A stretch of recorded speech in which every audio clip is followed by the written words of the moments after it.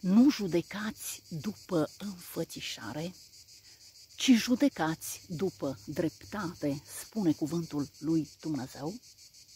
Cum poți spune, te iubesc, când inima ta nu este cu mine? Aceste două versete mă vor însoți în acest mesaj în dimineața aceasta, căci aceste două versete ies din inima mea. Nu judecați după înfățișarea omului, ci judecați după dreptate. Cum poți spune tu, te iubesc, oricine ai fi, cum poți să te apropii de o persoană, să te auzi la telefon sau să declari în fața altora, te iubesc, dar inima ta nu este cu mine. Spune cuvântul lui Dumnezeu. Voi citi din Ioan pâinea vieții. Norodul care rămăsese de cealaltă parte a mării băgase de seamă că acolo nu era decât o corabie și că Isus nu se suise în corabia aceasta cu ucenicii lui, ci ucenicii plecaseră singuri cu ea.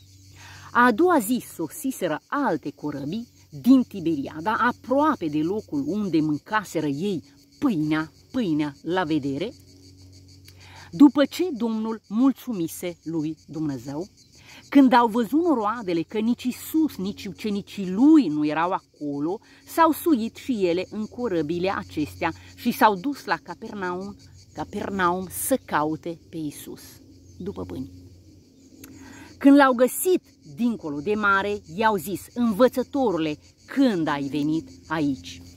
Drept răspuns, Iisus le-a zis, adevărat, adevărat vă spun că mă căutați, nu mă, mă căutați nu pentru că ați văzut semne, ci pentru că ați mâncat din pâinile acelea și v-ați săturat. Mă căutați nu cu toată inima, nu din inimă, mă căutați pentru valoare materială, pentru un câștig. O valoare, ceva care se vede, pentru interes. Atenție mare astăzi la acest mesaj. Lucrați nu pentru mâncarea peritoare, ci pentru mâncarea care rămâne pentru viața veșnică și pe care vă va da Fiul omului, căci Tatăl, adică Iisus Dumnezeu, pe el l-a însemnat cu pecetea lui. Atenție la pecetea! Cum poți spune te iubesc când inima ta nu este cu mine? Când, cum poți spune te iubesc, Iisuse, sau te iubesc, prietena mea, prietenul meu, colegul meu de muncă, te iubesc. Te iubesc pentru interes. Inima ta nu este cu el, îl iubești. Nu pentru uh, că trebuie să iubim pe fratele nostru, oricine ar fi, după înfățișare. Îl iubim pentru că avem un interes de la el. Pentru ce lucrăm astăzi, frații mei, dragii mei frați? Pentru ce lucrăm astăzi în via Domnului? De ce fac acest mesaj, fraților? Sub țânțari, sub căldură și soțul meu este acasă și mă așteaptă. Pentru ce, sora mea, slujești? Oriunde ai fi tu că slujești, cânți, predici, faci materiale ai mare trudă. Pentru ce, sora mea, fratele meu, lucrezi în via Domnului? Pentru un interes, pentru un salar, pentru un câștig, pentru faimă? Este inima ta cu Iisus Hristos? Sau nu este, fraților? De ce, sora mea, spui te iubesc, dar tu ai un interes. De ce, fratele meu, tu predici și spui, te iubesc, Iisuse, dar tu ai un interes și judeci după înfățișare, după câștig, după ce se arată vizibil. Ei i-au zis, ce să facem ca să săvârșim lucrările lui Dumnezeu? Atunci, spun ei, lucrarea pe care o cere Dumnezeu este aceasta, să credeți în acela pe care l-a trimis El. Ce semn faci tu, deci, i-au zis ei, ca să-L vedem și să credem în tine? Ce lucrezi tu? Părinții noștri au mâncat mană în pustie, după cum este scris, le-a dat să mănânce din cer. Le-a dat să mănânce din cer. Atenție! Dar ceea ce le-a dat se mânca, le trebuia, era un interes, o necesitate, o nevoie a oamenilor ca să-și sature pântăcele. Atenție! Iisus le-a zis, adevărat, adevărat vă spun că Moise nu v-a dat pâinea din cer, ci Tatăl meu vă va da adevărata pâine din cer. Căci pâinea lui Dumnezeu este aceea care se boară din cer și dă lumii viața sufletului. Atenție, viața sufletului, nu viața în firea pământească. Viață care se stinge trupul pământesc, supus putrezirii, se stinge dacă nu are pâinea. Atenție, pâinea de mâncat, atenție. Dar v-am spus că m-ați și văzut și tot nu credeți, tot ce-mi dă Tatăl va ajunge la mine și pe cel ce vine la mine nu-l voi izgoni afară. Căci m-am pogorât din cer ca să fac nu voia mea, ci voia celui ce m-a trimis. Frate drag, soră dragă, în predică, în cântec, în mesaje, în orice faci, te-a trimis. Ai fost trimisă, este după voia lui Dumnezeu sau după voia pântecelui, interesului. Atenție mare, căci m-am pogorât din cer ca să fac nu voia mea, ci voia celui ce m-a trimis. Te-a trimis Domnul să faci ceea ce faci? Sau nu? Atenție mare! Atenție mare! Căci dacă este pentru pâinea pentru pântece, atenție, au mâncat și ei de la Moise. Adevărat, adevărat vă spun că Moise nu va da pâinea din cer, ci tatăl meu vă dă adevărata pâine din cer. Lucrăm pentru pâinea pentru pântece? Sau pentru pâinea din cer? Cum poți spune, te iubesc, Iisuse? Te iubesc, prietenul meu, te iubesc, sora mea, dar inima ta nu este cu, tine, cu mine. Și se vede, fraților, când inima unui om care spune, te iubesc, sora mea, te iubesc, fratele meu, când inima omului care folosește cuvintele nu este, fraților, nu ajunge. Acea iubire nu ne atinge inima noastră, fraților. Astăzi, în noul templu digital, fraților, se vede tot. Nimic întinat și spurcat nu va intra în acest templu digital, fraților. De ce? Se va da pe față. Se va vedea pe fața noastră, fraților. Se va vedea în ochii noștri, fraților. Ochii sunt lumina sufletului nostru. Se va vedea când spunem, te iubesc, Iisuse. În, în cântăcele noastre, în predica noastră, în declarațiile noastre, când ne întâlnim pe stradă cu frații noștri, te iubesc, frate. S-ar putea să vedem în ochi că nu este iubire pentru noi. Și voia celui și, vo- și voia celui ce m-a trimis este să nu pierd nimic din tot ce mi-a dat el, ci să-l înviez în ziua de apoi. Voia tatălui meu este ca oricine vede pe fiul și crede în el să aibă viața veșnică și eu îl voi învia în ziua de apoi. Fraților, în momentul în care tu spui, noi spunem în mesajele noastre, te iubesc, frate, te iubesc, soră, te iubesc, Isuse. Atenție! Voia tatălui meu ca oricine vede pe fiul și crede, dacă nu credem în ceea ce spunem, fraților, dacă din toată inima nu suntem cu fratele nostru, cu sora noastră, cu prietenii noștri, cu colegii noștri de servici, fraților, nu vom învia în Duhul Domnului. Dacă nu credem în ceea ce spunem, fraților, ci, ci spunem pentru un interes, pentru acea mană, pentru acel uh, câștig, fraților, pentru a satisface acea nevoie pământească. Iudeii cârteau împotriva lui pentru că zisese, eu sunt pâinea care s-a pogorât din cer. Și zicea, oare nu este acesta Iisus, fiul lui Iosif, pe al cărui tată și mamă îl cunoaștem? Cum dar zice el, eu m-am pogorât din cer? Aici, fraților, nu este acesta fiul lui Iosif? Oare nu este acesta Iisus, fiul lui Iosif, și pe a cărui tată și mamă îl cunoaștem? Și aici, fraților, am făcut tot curriculum unei persoane și am, am, am declarat, fraților, și ceea ce simțim pentru el. Nu judecați după înfățișare, ci judecați după dreptate, fraților. Cine este tatăl lui? Cine este mama lui? Păi noi îi cunoaștem.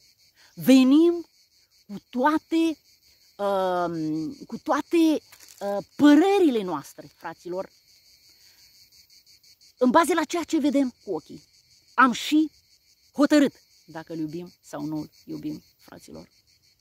Pe cine iubim, fraților, astăzi? Pe cel de la care avem un interes. Pe cel de la care avem satisfacere de nevoi. Pe cine îl iubim, fraților, astăzi? Și dacă îl iubim, în funcție de ce îl iubim, fraților?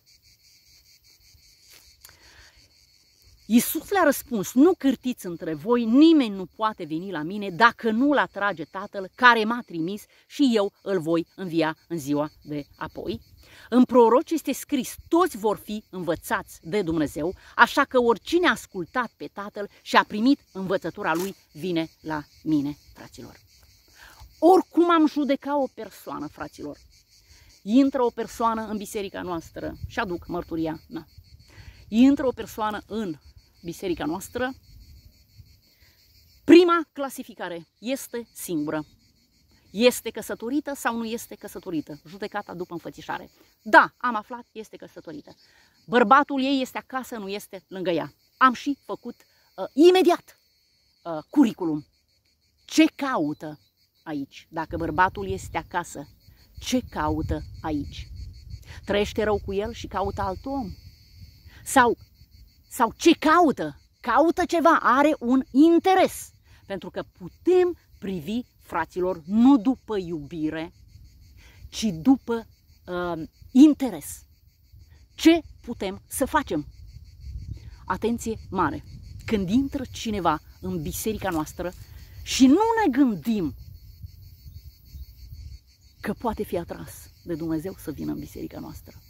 Și nu ne gândim că poate fi învățat de Dumnezeu și nu de om. Atenție mare! Când atrage Dumnezeu pe un om, ca apoi să-l trimită, și când atrage un om chiar în biserica noastră, chiar în adunarea noastră, fraților, nimic nu este un caz. Dumnezeu este Dumnezeul cerurilor și al pământului și nimic ce se mișcă în mări și pe pământ nu este ieșit din voia lui, fraților. Și când atrage pe un om, atenție mare dacă îl atrage în biserica noastră, fraților. Și este de judecat pe față absolut. Este așa cum vedem cu ochii, nu altfel. Atenție mare, atenție mare. Nu că cineva a văzut pe Tatăl afară de acela care vine de la Dumnezeu, da, acela a văzut pe Tatăl. Adevărat, adevărat vă spun că cine crede în mine are viața veșnică, eu sunt pâinea vieții, părinții noștri, părinții voștri au mâncat mană în pustie și au murit. Pâinea care se pogoară din cer este de așa fel ca cineva să mănânce din ea și să nu moară. Și acesta este cuvântul lui Dumnezeu, fraților. Credința noastră că cuvântul lui Dumnezeu este Dumnezeu care învață pe oameni, fraților. Chiar dacă în jurul unei persoane este gălăgie mare, atât de multe predici și învățături de oameni, mii, mii, fraților, nimeni nu crede, nimeni nu se așteaptă că o persoană care la înfățișare nu demonstrează nimic de înjosit, de disprețuit, de devalorizat, acea persoană să fie atrasă de Domnul. și să fie învățată de cuvântul lui Dumnezeu, care este Dumnezeu. Pâinea care se pogoară din cer este de așa fel ca cineva să mănânce din ea și să nu moară.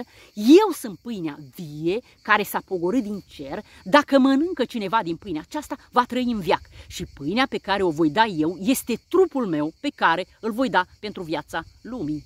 Cuvântul lui Dumnezeu. Sunt trei care mărturisesc în cer Tatăl, Cuvântul și Duhul Sfânt, fraților.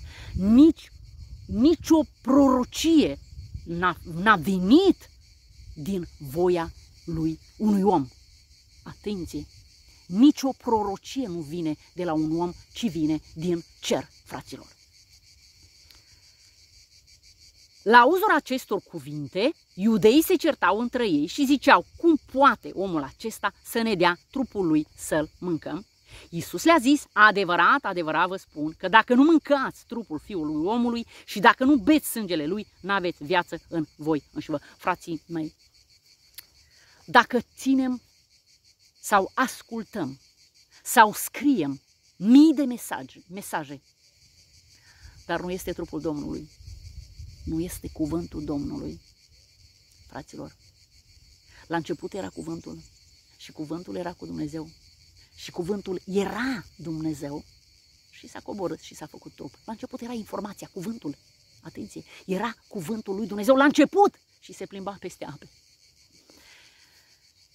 Și dacă nu dăm la oameni, atenție, adevărat, adevărat vă spun că dacă nu mâncați trupul fiului omului și dacă nu beți sângele lui, n-aveți viața în voi înșine. Dacă nu citiți cuvântul Domnului, nu mâncați și nu beți sângele lui, fraților, aici este mai greu. Este valea durerii, este valea suferinței, este valea disprețului, fraților.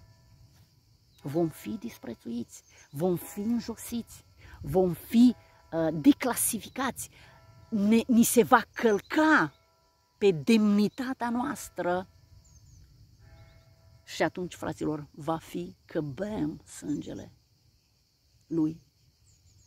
Trebuie să trecem prin dispreț, prin, uh, prin toate acele dureri pe care le-a trăit Mântuitorul. Acela este sângele Mântuitorului, fraților. Să intrăm într-un loc într-o biserică, într-o adunare și să fim atât de disprețuiți încât oamenii, bărbații, la o biserică întreagă de zeci și zeci de persoane să plece ochii, să strângă din ochi când trece o femeie, un suflet de femeie. Până la urmă, cum pot spune te iubesc? Cum putem să cântăm te iubesc, Iisuse? Și intră o femeie în biserica noastră și toți bărbații închid și strâng ochii la trecerea unei femei îmbrăcată, așa cum vor ei, doar mai puțin centimetri. Cum poți spune te iubesc când strângi ochii când trece o femeie? Cum poți spune te iubesc când nimeni, nimeni, fraților, din ochi nu trimitea o îmbrățișare și o privire de iubire, fraților. Aceasta este prima mea experiență unde Domnul m-a atras. Cum pot spune, te iubesc? Dar acesta este drumul, fraților. Nu vom putea predica Evanghelia, nu vom putea aduce pâinea care dă lumii viața, fraților, dacă nu bem sângele. Sângele lui. Trupul Fiului omului predicarea cuvântului lui Dumnezeu și dacă predicarea, citirea, primirea, primirea fraților uh, de uh, descoperiri în cuvântul Domnului și dacă nu beți sângele lui, n-aveți viața în voi înși vă. Fraților, dacă n-am trecut prin valea disprețului, acel dispreț care îl omoară pe om, în suflet îl omoară, îl omoară și Mântuitorul, cuvântul Domnului, îl va ridica, fraților. Acesta este sângele Mântuitorului pe care îl bem. Niciun predicator nu va putea spune te iubesc din inimă și să demonstreze că iubește din inimă atunci când cântă, atunci când predică, dacă n-a fost disprețuit, dacă n-a băut sângele Domnului, fraților. Nu va ști, va spune, va spune, de spus va spune lucruri. Dar atenție, din lumina ochilor nu va ieși iubirea de care vorbește cu gura. Nu va fi acea iubire în, în, în fața lui, în ochii lui, în privirea lui, fraților. Va, va, vor fi cuvinte. Atât. Atât. Dar um, Domnul, uh, chiar în dimineața aceasta, la întrebările mele, căci așa răspunde Domnul, la întrebările mele, de ce, Doamne?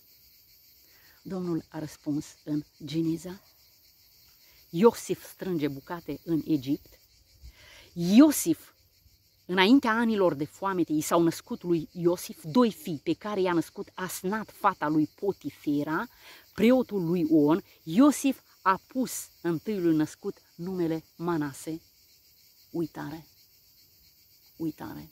Când va veni iubirea adevărată în inima noastră, vom putea uita acea vale a disprețului. Căci a zis el, Dumnezeu m-a făcut să uit toate necazurile mele și toată casa tatălui meu. Va fi uitare, fraților.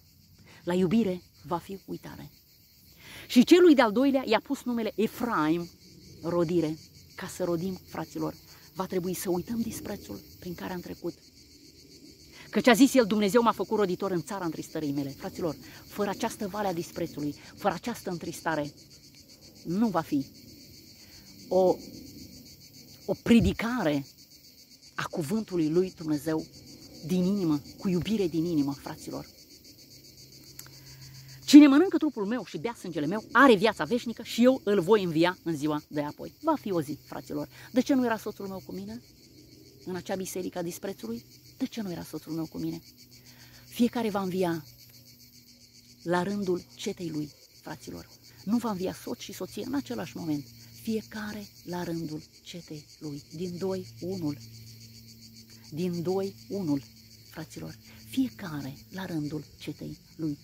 Sunt foarte mulți predicatori, sunt foarte multe predicatoare care vorbesc, trimit, fac roadele lor, fraților, dar bărbatul nu este lângă ele. De ce, fraților? Fiecare va învia la rândul cetei lui. Este o înviere, fraților. Și Domnul alege și atrage, nu doi odată, atrage unul. Și apoi vine celălalt. Este judecata lui Dumnezeu, nu este a noastră. Nu judecați după înfățișare, ci judecați după dreptate. Dreptatea cuvântului lui Dumnezeu. Căci trupul meu este cu adevărat o hrană și sângele meu este cu adevărat o băutură. Cine mănâncă trupul meu și bea sângele meu, rămâne în mine și eu voi rămânea și eu rămân în el, după cum Tatăl care este viu m-a trimis pe mine și eu trăiesc prin Tatăl, tot așa cine mă mănâncă pe mine va trăi și el prin mine. Astfel este pâinea care s-a pogorât din cer, nu ca mana pe care au mâncat-o părinții voștri și totuși au murit. Cine mănâncă pâinea aceasta va trăi în viac. Iisus a spus aceste lucruri în sinagogă când învăța pe oameni în Capernaum. Uh, fraților, mi-a vorbit Domnul în dimineața aceasta, tot în Ioan, capitolul 7, dar citesc tot, tot capitolul 6 și capitolul 7, fraților, și sper să, să fie răbdare din partea ascultătorului. Um, tot așa uh, m-a trimis pe mine și eu trăiesc prin Tatăl, tot așa cine mă mănâncă pe mine va trăi și el prin mine. Astfel este pâinea care s-a pogorât din cer, nu ca mana pe care au mâncat-o părinții voștri și totuși au murit. Cine mănâncă pâinea aceasta va trăi în viac.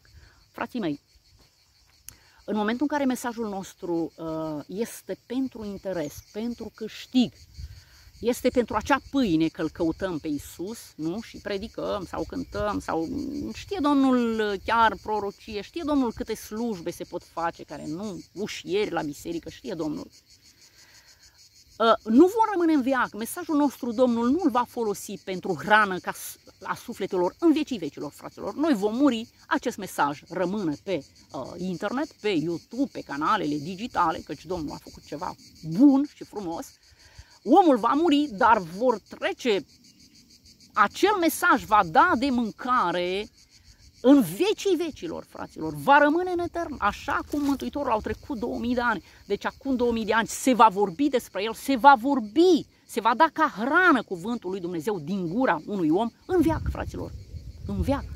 Dar atenție, ca să trăim în viac, trebuie să vină cuvântul lui Dumnezeu. Nu pentru un interes, nu să fie elaborat, realizat, ca scop un interes să mâncăm noi, să avem slujba, să avem plata um, serviciului pe care îl facem în Biserica Domnului sau în afara Bisericii Domnului, fraților. Se va, ades, acum, în acest uh, templu digital, sigur se va, uh, se va mânca. Deci, Domnul mi-a vorbit de mult, se va mânca. Se va mânca chiar uh, pentru uh, mesaje uh, în, în acest templu, fraților, în acest templu uh, digital. Astfel, este pâinea care se pogoară din, s-a pogorât din cer, nu ca mana pe care au mâncat-o părinții voștri și totuși au murit. Cine mănâncă pâinea aceasta va trăi în viață. Această pâine, fraților, în acest mod. Nu judecați după înfățișare, ci judecați după dreptate. Cum poți spune, te iubesc când inima ta nu este cu mine, fraților? Atenție, în, în, în mesajul nostru pe care îl lăsăm în viac, fraților, să ne gândim că lăsăm un mesaj în viac, să spunem, te iubesc, Iisuse, fac Iisuse, pentru tine, fac pentru cei care ar, vor auzi acest mesaj din iubire, fără niciun pic de interes, fraților. Zero. Și vom rămâne în viac și va da hrană. Altfel nu, fraților. Dacă în spatele acestui mesaj este un interes de bani sau de faimă, nu va rămâne în viac, fraților. Nu îl va căuta nimeni. Voi muri, dar nu îl va căuta nimeni, nu va da nimic la nimeni. Unii ucenici îl părăsesc mărturisirea lui Petru. Păi, în acest caz, fraților, când el vorbea așa, oamenii se gândeau tot la pâine. Și atunci îl părăsesc. Mulți din ucenicii lui, după ce au auzit aceste cuvinte, au zis, vorbirea aceasta este prea de tot, cine poate să o sufere? Iisus, care știa în sine că ucenicii săi cârteau împotriva vorbirii acestea, le-a zis, vorbirea aceasta este, prea, este pentru voi o pricină de poticnire, dar dacă ați vedea pe Fiul omului suindu-se unde era mai dinainte, Duhul este acela care dă viață, carnea nu folosește la nimic, cuvintele pe care vi le-am spus eu sunt Duh și viață, fraților. La citirea Evangheliei, cuvintele pe care vi le-am spus sunt Duh și viață, vin din Duh, fraților, cuvântul lui Dumnezeu și Duhul lui Dumnezeu va vorbi și va da hrană și va da informații pe care le caută o inimă de om. Dar sunt unii din voi care nu cred că Iisus știa de la început cine erau cei ce nu cred și cine era cei ce aveau să-L vândă. Fraților, Domnul știe, suntem cu Domnul, suntem cu Domnul în împărăția lui Dumnezeu, uh, uh, predicăm Evanghelia, care Evanghelia este împărăția lui Dumnezeu, avem în mână, uh, fraților, controlul activității noastre, dar atenție mare, căci sunt oameni atrași care la înfățișare sunt de disprețuit, de disprețuit atât de tare să închizi ochii să nu-l mai vezi. Dar atenție că printre noi care fac o slujbă și atenție, sunt chiar în poziție lângă Mântuitorul, chiar sunt acolo, chiar de la Anvon, fraților, Domnul știe cine îl va vinde. Atenție mare! Domnul știe cine îl va vinde, Domnul știe, știe cine va fi fiecare dintre noi. Deci nu judecați după înfățișare, ci judecați după dreptatea lui Dumnezeu, fraților.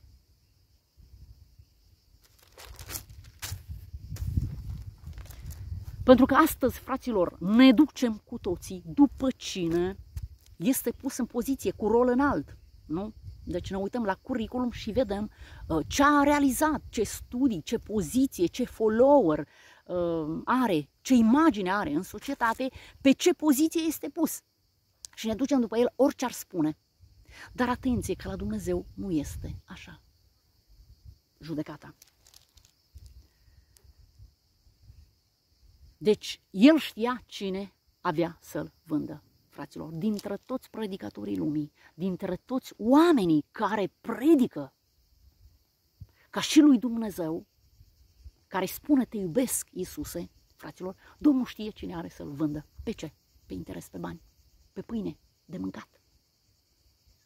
Și a adăugat, tocmai de aceea v-am spus că nimeni nu poate să vină la mine dacă nu i-a fost dat de tatăl meu. Din clipa aceea, mulți din ucenicii lui s-au întors înapoi și nu mai umblau cu el. Atunci Isus a zis celor 12, voi nu vreți să vă duceți? Doamne, i-a răspuns Simon Petru, la cine să ne ducem? Tu ai cuvintele vieții veșnice. Și acesta este cuvântul lui Dumnezeu, fraților. Și noi am crezut și am ajuns la cunoștința că Tu ești Hristosul Sfântul lui Dumnezeu. Și acesta este cuvântul lui Dumnezeu, fraților, care este Duh și viață. Iisus le-a răspuns, nu v-am ales eu pe voi cei 12 și totuși unul din voi este un drac. Suntem în jurul cuvântului lui Dumnezeu, fraților. Atenție, suntem în jurul cuvântului lui Dumnezeu. Dar atenție, că Domnul știe de la început cine va vinde. Pe ce? Pe bani, pe câștig, pe mâncare, până la urmă. Cu acest uh, câștig pierde omul viața veșnică. Și noi am crezut și am ajuns la cunoștința că tu ești Hristosul Sfântului Dumnezeu. Iisus le-a răspuns, nu v-am ales eu pe voi, cei 12, și totuși unul din voi este un drac. Vorbea despre Iuda, fiul lui Simon Iscarioteanul, căci el avea să-l vândă. El, unul din cei 12? Necredința fraților lui Isus. După aceea Isus străbătea Galileea, nu voia să stea în Iudeea, pentru că iudeii căutau să-l omoare. Și praznicul iudeilor, praznicul zis al curturilor, era aproape atenție la acest praznic, căci Domnul mi-a vorbit, frații lui i-au zis, pleacă de aici și du-te în Iudeea ca să vadă și ucenicii tăi lucrările pe care le faci aici. Pleacă de aici era. Pleacă de aici. Nu credeau. Nu credeau în ei, pleacă de aici. Nu credeau în el, pleacă de aici. Nu judecați după înfățișare, ci judecați după dreptate. L-au judecat că este fratele lor. Păi, dar nu ești fratele nostru și cunoaștem pe mama și tatăl tău. Cine ești tu? Îți cunoaștem religia, știm de unde vii, știm, nu știu ce mai știm despre tine. Nu? Pleacă de aici. Mesajul era pleacă de la noi. Nu ne interesează de tine. A fost cineva, fraților, dat afară dintr-un context. Dat afară, nu vorbim de fapte care se spun cu vorbele. Nu, nu, nu, nu. Dat afară, cum poți spune te iubesc când inima ta nu este cu mine?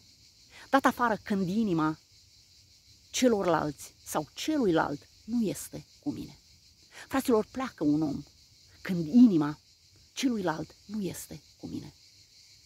Chiar, chiar am ascultat aseară, ca să aduc mărturia, am ascultat aseară o mare cântăreață româncă. I-am văzut inima, fraților, când a declarat într-un short, a declarat eu aș vrea ca soțul meu și cea mai mare cântăreață, cred că Italia, românia, româncă, brunețică, n-aș vrea să vorbesc de nimeni, să dau numele, brunețică și are o, o voce de privighetoare. Eu aș vrea, deci până acum eu am văzut pe soțul meu, m-a considerat, m-a iubit, nu? Dar astăzi, eu astăzi, în starea de față, eu aș vrea când intru în casă, am această nevoie mare, ca Cătălin, bărbatul meu, să mă privească în ochi, nu să facă să continuă să facă ceea ce făcea prima de a intra eu. Cătălin să, să, să mă privească cu ochii când intru, să-mi dea valoare, să, să mă iubească din ochi când intru în casă. Am această nevoie, nu că nu m-a iubit, dar astăzi eu simt lucrul acesta. Să-mi spună că mă iubește și să mă privească în ochi, să se uite la mine, Fraților, nu mă iubește. M-a iubit până acum, dar acum vreau mai mult. Nu mă iubește. Inima lui nu mai este cu ea. Este, este cu cineva, fraților. Cu cineva este inima, dar nu cu ea. Păi, sunt doi copii, viață perfectă, faimă. Aș vrea când intru în casă să se uite în ochii mei și să-mi spună te iubesc nu mai este cu ea. Nu are nevoie nimeni, fraților, să spună te iubesc. Soțul meu nu îmi spune te iubesc. Dar sunt atât de iubită că dacă s-ar pune astăzi să se facă o clasifică cine este femeia cea mai iubită din lume, eu astăzi declar să rămână o pecete în vecii vecilor, în viața veșnică, să fie să se știe, să se audă întotdeauna că soțul meu nu spune te iubesc, dar eu sunt cea mai iubită femeie din lume. Am fost atât de invidiată de surorile mele, mari, îmi trimiteau fotografii în care mă surprindeau pe soțul meu cum se uită la mine. Mari, se uită la tine ca la un cireș copt. Mari, ce mult am vrea să fim și noi privite cu această mare iubire. Eu astăzi declar, sunt femeia cea mai iubită din lume, fraților. Și eu cred că orice femeie din lume vrea să fie iubită de bărbatul care este lângă ea. Și oricine să dea Domnul, mă rog lui Dumnezeu, oricine, oricine, fraților, ascultă mesajul până la aceste minute, tu care asculți, să dea Domnul, să pună în inima soțului tău așa de mare iubire, încât să te simți cea mai iubită femeie din lume, așa cum sunt eu, fraților. Sunt cea mai iubită femeie din lume.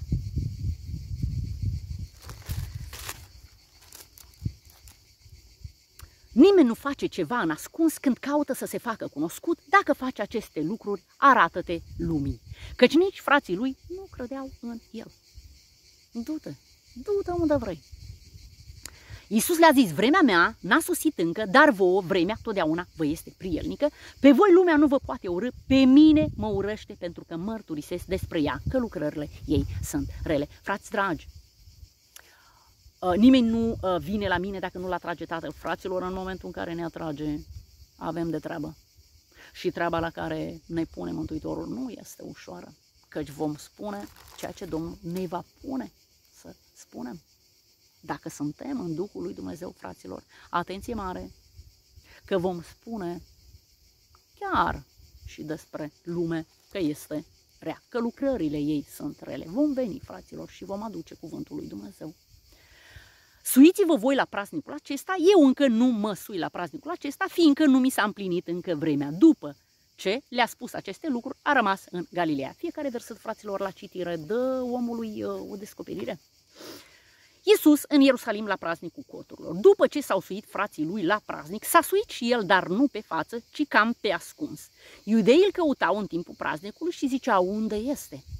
Noroadele vorbeau mult în șoaptă despre el. Unii ziceau, este un om bun, alții ziceau, nu, ci duce norodul în rătăcire. Vor fi oameni care vor crede, oameni care nu vor crede.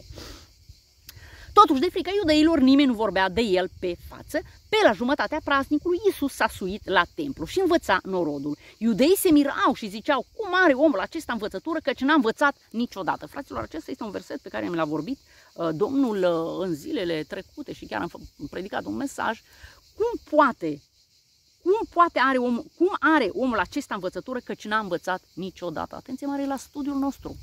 La studiul nostru am studiat ne-am ridicat pe poziții foarte înalte, am luat roluri în societate foarte înalte, dar atenție că odată cu învățătura vine mândria. Aici este problema, de aici cădem, fraților, de aici cade omul. Deci aduc și altă mărturie, uh, o familie de care ne-am apropiat uh, în Domnul, nu? Și uh, la un moment dat ne-au povestit că ea, deci ea și el, ea a realizat studiu biblic. Și povestea bărbatul Ehm, soția mea a realizat acest studiu biblic și a luat, a fost premiat, a luat un vot mare, cred, un, cum se spune în românește, a trecut cu o notă mare, nu? Și chiar am văzut-o că se fălea, nu? Fraților, orice uh, realizare uh, a unui studiu ne dă o mândrie, ne dă o fală, fraților. Este foarte ușor să cădem, nu? Și atenție că uh, cu mândria se duce din inima noastră și iubirea de oameni, fraților. Și în momentul în care suntem mândri că știm tot, chiar în acel moment, din ochii noștri, vom spune cu gura te iubesc, dar cu ochii și cu inima nu vom spune că mai iubim. Fraților, cu mândria, cu știința, cu învățătura, nu vom mai putea iubi, fraților, ca mai înainte. De ce? Pentru că ne ridicăm. Ne ridicăm mai sus. Păi cum poți tu să n-asculți ce te învăț eu? Pentru că eu am studiu biblic. Și eu nu te voi asculta pe tine pentru că tu nu ai studiul pe care l am eu. Și atunci, fraților, Bineînțeles că aceasta nu este iubire. Nu-l mai iubim pe fratele nostru, din contra, poate chiar îl urâm. Tu să taci. Și atunci judecăm după înfățișare și nu după dreptate. Căci se poate, fraților, învăța, învățătura mea nu este a mea, ci a celui ce m-a trimis pe mine, cum are omul acesta învățătură, căci n-a învățat niciodată. Când trimite Domnul, fraților, învață Domnul. Așa cum am citit uh, mai înainte. Așa cum am citit mai înainte, toți vor fi învățați de Dumnezeu. Și când spun toți, gata -i. Poate învăța și unul care nu are studiu. Nu? Deci, atenție, frați dragi, să lăsăm uh, acest, această idee de uh, înălțime, fraților, că îl pierdem. Pierdem iubirea, fraților. În momentul în care ne-am ridicat, pierdem iubirea de frați. Nu îl mai iubim, îl disprețuim pe celălalt. Dacă vrea cineva să facă voia lui, va ajunge să cunoască dacă învățătura este de la Dumnezeu sau dacă eu vorbesc de la mine. Și atenție mare în acest moment, fraților. Când vorbim unii cu alții, vorbiți în psalm, vorbiți cu versete. Nu? Cine vorbește de la sine caută slava lui însuși, dar cine caută slava celui ce l-a trimis, acela este adevărat și în el nu este sănătate. Frate drag, trimitem versetul. Ai să-mi spui ceva? Trimitem versetul pe care Domnul ți l-a descoperit Trimitem versetul și atât. Lasă versetul să vorbească inimii mele.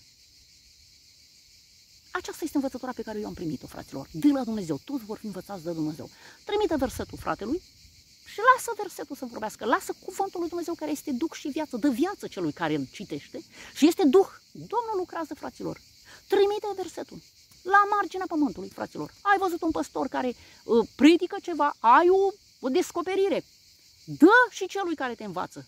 Dă acolo și lui. Celui care te învață. dă și lui, dă numai versetul, că acel verset poate că va da viață la cine știe câte mii de oameni, pentru că el are 50 de mii de follower, acel învățător, nu? Tu ai o descoperire numai într-un verset, nu? Trimite-l, pune în comentare la acel păstor, la acea biserică, fraților, și dă învățătura și celui care, și celui care învață, dă ce, din ce te-a învățat Dumnezeu pe tine, dă și celui care te învață, fraților. Dar atenție mare, numai cuvântul lui Dumnezeu. În doi ani de zile am fost atât de strunită de Domnul să nu, chiar ieri, mesajul care l-am publicat, jertfa să fie fără cusur. Păi, imediat Domnul mi-a și vorbit, păi ce, ce nu are, îl elimin sau ce fac? Deci de fiecare dată când public un, un, un mesaj, Domnul mă strunește și mă duce să fac cum vrea el. Deci el vrea cuvântul lui. Deci dacă în, în, în prefața am publicat video, nu? Și fac o, un rezumat, un mic rezumat, nu? Scriu niște versete. Domnul nu vrea cuvintele mele, vrea cuvântul lui Dumnezeu. De ce? Pentru că cuvântul lui Dumnezeu este duh și viață și cuvântul lui Dumnezeu lucrează în inima celui care citește și atinge inima și dă hrană fraților în căutarea lui. Pentru că dacă nu este căutare, fraților, nu este nimic. Eu în biserica, prima biserică în care am pus picior, era o căutare a lui Dumnezeu. Căutând pe Dumnezeu, cercando Dio, este pagina mea, căutând pe Dumnezeu prin câte am trecut, fraților. Oare nu v-a dat Moise legea, totuși nimeni din voi nu ține legea? De ce căutați să mă omorâți? Norodul i-a răspuns, ai drac! Cine caută să te omoare? Fraților, acest cuvânt ai drac în momentul în care, fraților, nu avem mărturia și spunem, ai drac, nu? Dar nu avem mărturia, ce înseamnă acest cuvânt, fraților, pe care să-l trăim noi? Deci, eu am avut o lider, cine mi-a dat cartea aceasta în mână este o femeie la care am apelat că aveam probleme la facultate. Nu? Deci a trecut toți studenții și pe mine m-a lăsat. M-a lăsat singură. Am făcut examenul cu o comisie întreagă singură. Nu? Am ajuns într-o rotatorie în care, din care nu era ieșire. Am zis, ăștia mă fac să repet anul cine știe câți ani. Pentru că directoarea nu i-a plăcut că eu am găsit altă prietenă și am lăsat-o pe ea. Era un fapt banal, dar totuși am ajuns în rotatorie pentru acest fapt banal. La început o trata rău pe prietena mea, noua prietenă, că nu mai eram cu ea, ea era directoarea facultății și bineînțeles că din acea trădare se simțea trădată, nu? Eu am, mi-am ales altă prietenă, dar era o necăjită și o trata rău pe ea, a lăsat-o pe ea și m-a luat pe mine. Fraților, am avut această carte de la o femeie, nu? Ă, această femeie, după ani care a fost în casa mea, a asistat la ă, botezul meu în apă, ca și om mare, Dar ce s-a întâmplat în momentul în care m-a văzut că vorbesc, fraților? Mi-a spus acest lucru. Are drac. Are drac, fraților. Fraților, trebuie să trăim și lucrul acesta. Să trăim viața lui Isus, să fim disprețuiți de toată lumea, prigoniți și trebuie să ni se spună, ai drac, ca să-l înțelegem. Fraților, ca să înțelegem o persoană, trebuie să trecem ce a trecut. Și atunci să dăm viață prin cuvântul pe care îl citim. Nu așa. Nu așa. Îl citim și îl interpretăm. Nu, fraților, trebuie să-l trăim. Mi-a spus, ai drac. Și Domnul mi-a răspuns, va vedea ea care este Dumnezeul tău. Va vedea vrășmașa ta într-o zi care este Dumnezeul tău. Dacă nu trăim, fraților, ceea ce a trăit Isus, nu va fi hrană. Mâncarea pe care o mâncăm, mesajul pe care îl facem, nu va da nimic, fraților, la cel care ascultă. Și nu vom avea viață veșnică. Nimeni nu va mânca din această hrană, din cer, care trebuie să fie din cer. Dacă nu, este mana lui Moise. Și se moare. Pentru că nu este hrană din cer, ci este mâncare normală. A fost mama mea atât de bat jocorită. A făcut-o nora ei în, de tot felul, fraților, și am trăit și acest lucru. A bat jucorit-o și a făcut-o să mori. Să, să, să faci tu accident vascular și trebuia, nu socrul meu, tu, soacro, să hârcă bătrână, a făcut-o jegoasă. Fraților, am auzit ce nu am auzit până acum venind din țara, din România, așa bat jocură. Am intervenit, fraților, și m-a sunat fratele meu. Atunci când mama mea mi-a zis, m-a făcut hârcă, m-a făcut jegoasă, m-a făcut în, să mor, fraților, nu m-a atins cu nimic. Mărturisesc, nu m-a atins cu nimic, pentru că nu mi-a spus mie. M-a chemat la acest capitol, fraților, m-a chemat fratele meu și m-a batjocorit atât de rău că dacă nu eram în, în cuvântul Domnului să mă sprijin, muram de tristețe. M-a făcut de tot râsul. Bat jocuri atât de mari ca să înțeleg pe mămica și merg înainte să o apăr. Am chemat preotul satului, după cuvântul Domnului, am chemat preotul satului. Mi-a spus Domnul, cheamă preoții satului.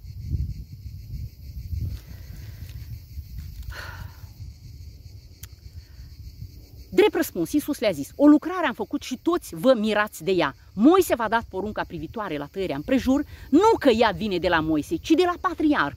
Și voi tăiați împrejur pe un om în ziua sabatului.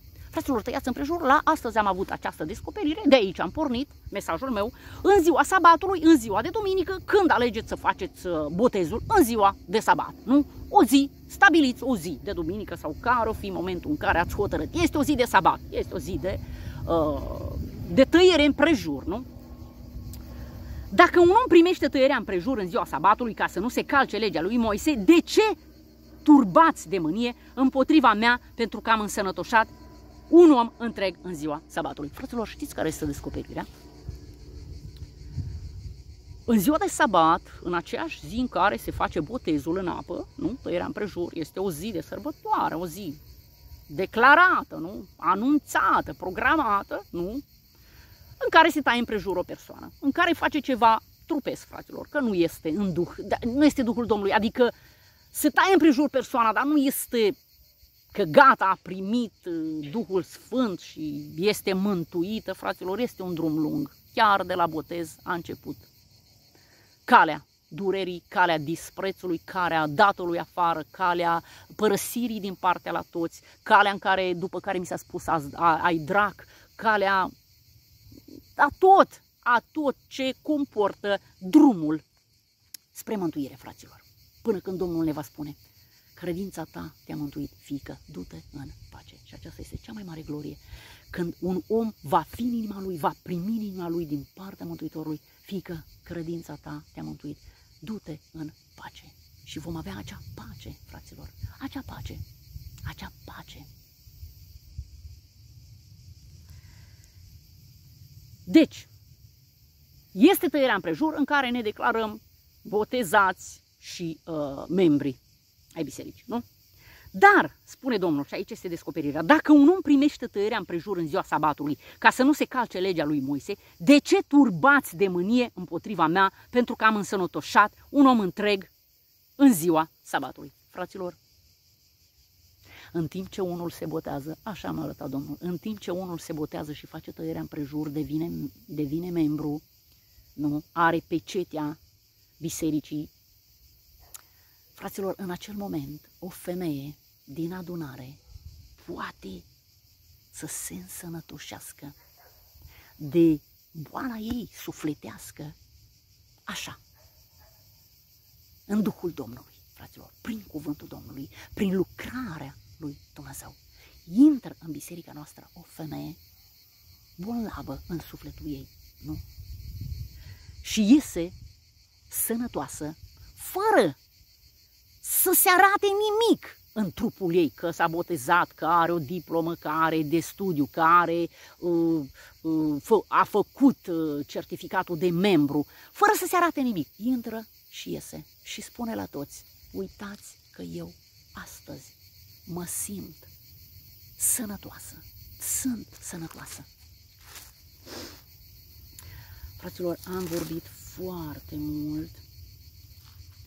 Ehm, da, acesta este versetul. Femeie, ești deslegată de neputința ta. Știe sufletul acela de femeie că este deslegată de neputință, fraților, fără să demonstreze nimic. Ce se întâmplă, fraților, în momentul în care Că vine judecata, judecați după înfățișare și nu după dreptate. Ce se întâmplă în momentul în care am judecat?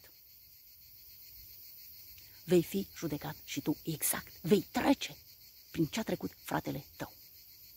Este o badia.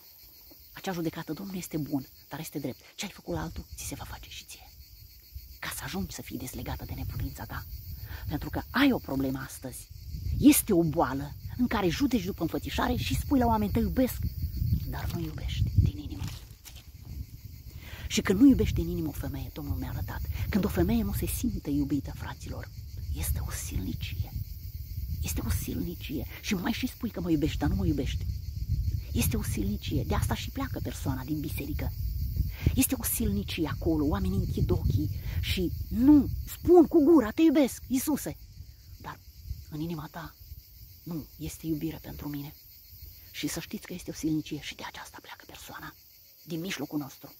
Voi nu mă iubiți, din mijlocul adunărilor din care am intrat ca să ajung singur în câmp, fraților. Am plecat din cauza silniciei, fraților. Nu m-ați iubit. Fraților, nu m-ați iubit. Ați spus, te iubesc, Iisuse, te iubesc, Marinela. Dar din inimă, eu am văzut altceva. Nu m-ați iubit și am plecat de neiubirea voastră toate grupurile din care am intrat, fraților. Și ce se va întâmpla? Vei intra și tu într-un grup și nu vei fi iubită, ca să înțelegi, să mă înțelegi, să înțelegi ceea ce spun eu. Oare zice Domnul, nu voi pierde eu în ziua aceea pe cei înțelepți din Edom și priceperea din muntele lui sau vitejii tăi temane se vor spăimânta pentru ca tot cei din muntele lui sau să piară în măcel, din pricina silniciei făcute împotriva fratelui tău Iacov, vei fi acoperit de rușine și vei fi nimicit cu desăvârșire pentru totdeauna, căci în ziua când stăteai în fața lui, în ziua când străinii luau averea, fraților, știți care este averea? Este demnitatea noastră, fraților, și dreptul nostru de a fi iubiți pe pământ. În ziua când străinii luau averea, când toți ceilalți călcau peste demnitatea lui, peste dreptul lui de a fi iubit, când străinii intrau pe porțile lui și aruncau surțul asupra Ierusalimului și tu erai atunci unul dintre ei. Nu trebuiai să te uiți mulțumit în ziua fratelui tău, în ziua nenorocirii lui, era necaz. De asta a intrat în mijlocul vostru. Era necaz. Era atras, era chemat, trebuia să fie acolo. Nu avea liniște, trebuia să fie acolo. Nu trebuiai să te uiți mulțumit la ziua fratelui tău în ziua nenorocirii lui. Nu trebuiai să te bucuri de copiii lui Iuda în ziua pieirii lor. Și nu trebuia să vorbești cu semeție în ziua strâmtorării. Era în strâmtorare. Era în strâmtorare. De asta a intrat acolo. Era în strâmtorare. o directoare de facultate, nu o lăsa liberă, a prins-o în niște lațuri grele. Nici nu trebuiai să intri pe porțile poporului meu în ziua nenorocirii lui, nici nu trebuiai să te bucuri de nenorocirea lui în ziua prăpădului lui și nu trebuiai să pui mâna pe bogățiile lui în ziua prăpădului lui. Nu trebuiai să stai la răspântii ca să nimicești pe fugarei lui și nici nu trebuiai să dai în mâna vrășmașului pe cei ce scăpaseră din el în ziua necazului. Fratele tău era în necaz, fraților. Căci ziua Domnului este aproape pentru toate neamurile. Cum ai făcut, așa ți se va face. Faptele tale se vor întoarce asupra capului tău. Fraților, orice am făcut la fratele nostru, ne va aștepta cineva să ne facă ce i-am făcut lui. Aceasta este judecata lui Dumnezeu. Obadia este judecata lui Dumnezeu. Am vorbit într-o zi la servici de două ori, cu două grupuri, cu un grup de o persoană și cu un alt grup de altă persoană. Fraților, am intrat în infirmărie, am intrat în, în biroul de asistent medical, unde stă asistentul medical și medicul. Vorbeau de mine. Și am văzut ce să, am resp- și am văzut ce înseamnă. Imediat. Câteodată judecata este imediată. Vorbeam, am respins pe cineva, un operator care m-a chemat să fac un, un medicare, un pansament. Și m-am fost deranjată. Fraților, imediat, în aceeași zi, am bătut la ușa unui medic și a zis că îl deranjez, că, stă, că mănâncă un măr. Fraților, cum am făcut, așa ni se va face. Am disprețuit pe fratele nostru în ziua necazului vom fi disprețuiți și noi. Că ziua Domnului este aproape pentru toate neamurile, cum ai făcut, așa ți se va face, faptele tale se vor întoarce asupra capului tău, căci după cum ați băut paharul mâniei, voi cei de pe muntele meu cel sfânt, v-ați mâniat când m-ați văzut. Ați crezut că vă iau ceva sau că nu vă dau ceea ce așteptați de la mine, acea pâine, acea zeciuială. V-ați mâniat fraților. Căci după cum ați băut paharul mâniei, voi cei de pe muntele meu cel sfânt, așa, tot așa, toate neamurile îl vor bea necurmat, vor bea, vor sorbi din el și vor fi ca și când n-ar mai fi fost niciodată. Dar mântuirea va fi pe muntele Sionului, el va fi sfânt și casa lui Iacov își va lua înapoi moșiile. Casa lui Iacov va fi un foc și casa lui Iosif, Iosif o flacără. Casa lui Iacov, fraților, oricine ar fi Iacov care vorbește din inimă, te iubesc, din inimă și va fi din inimă, va fi ca și un foc pentru și o flacără dar casa lui Esau va fi miriștea pe care o vor aprinde și o vor mistui și nu va mai rămânea niciunul din casa lui Esau, Esau căci Domnul a vorbit. Amin.